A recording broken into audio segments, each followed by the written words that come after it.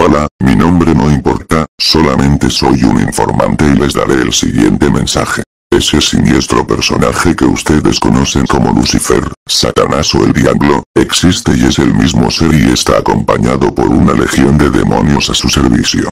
Satanás en un principio fue un ángel poderoso, hermoso y bondadoso llamado Lucifer, pero su soberbia llegó a tal grado, que quiso competir en autoridad con Dios, y eso lo llevó a ser expulsado del cielo por el arcángel Miguel, quien lo arrojó a la tierra y Satanás ha estado con nosotros desde el principio de los tiempos. Dios le dio permiso al diablo de tentar a las personas a cometer pecados, pero no tiene permitido matar a ningún ser humano.